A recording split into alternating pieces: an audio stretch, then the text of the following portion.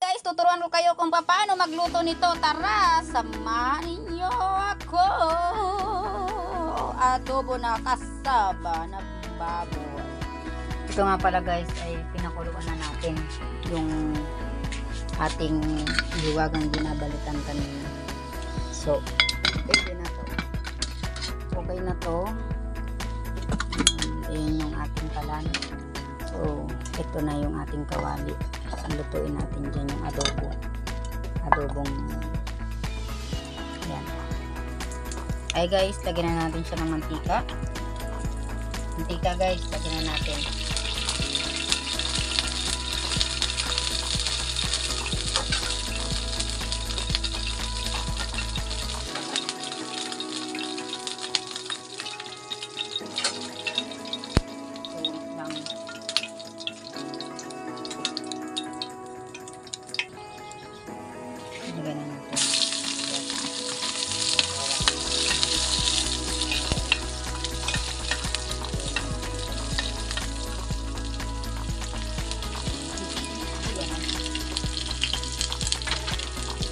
So, na guys.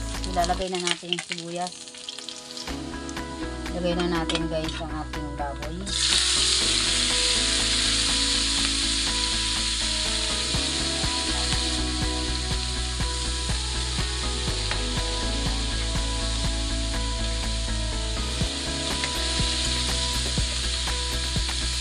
Uy, sayang.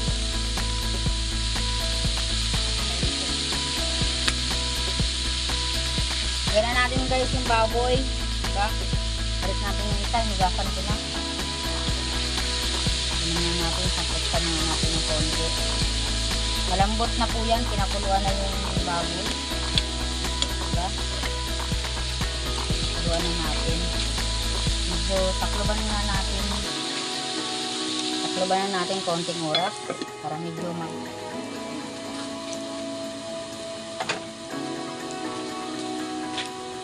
Siyempre, ang gagawin natin guys is kalamansi ang ilalahok natin sa ating sa kalamansi ang lalo- ang ilalagay natin sa kalamansi sa ating adobo ay kalamansi.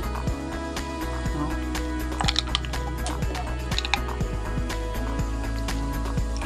lagyan natin yung toyo. Ano maya konti. Italagay natin ang ating mahiwagang ano itong mahiwagang ganito talaga sa bundok. Sa bukid. Kailangan matuto ka kailangan maano ka ng, ng pag, kailangan mag-ano ka ng pagluluto. Talaga matututo ka. So wala na tong edit edit na pagluluto na to. Tingnan nyo ang aking lulutuin.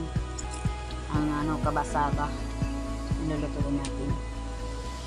Okay na tong kalamansi. Wag na natin masyadong anuhan Hmm, huwag ka maingay dyan, Matt. Nag-voice over ako dito. So, ito na guys. Kalamansi.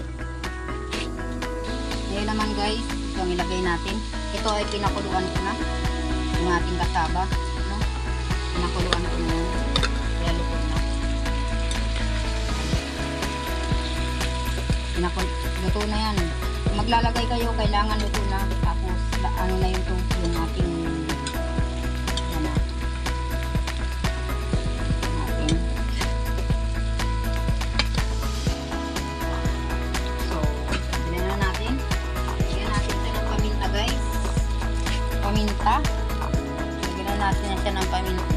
Natin siya ng toyo. Kataman-taman lang na toyo. Tapos, lagyan na natin siya ng toyo. Haluin natin. Ito ang kakaibang luto natin ng tubig. Yan. Lagyan natin. Siyempre, lagyan natin din ng konting tubig na mainit para mabilis kumulo. Kakamkaman lang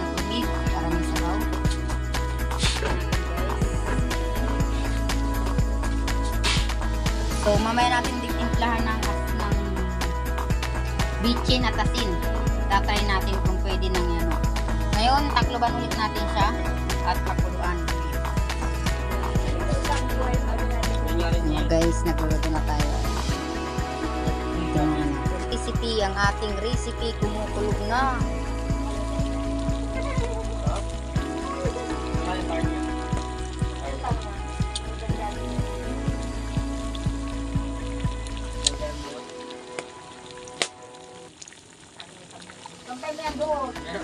Guys. Siyempre guys, nilagyan natin ng ilang pirasong sili. At ito ay finished product na. Wala tayong, wala, hindi po ako naglagay guys ng magic sarap kasi malasa na yung toyo. Yan, hindi na tayo maglalagay ng magic sarap or kung ano-ano pa man. Ganun kasi talaga ako magluto dito. Ayan. Luto na po ngayon ang ating mahiwagang adobo.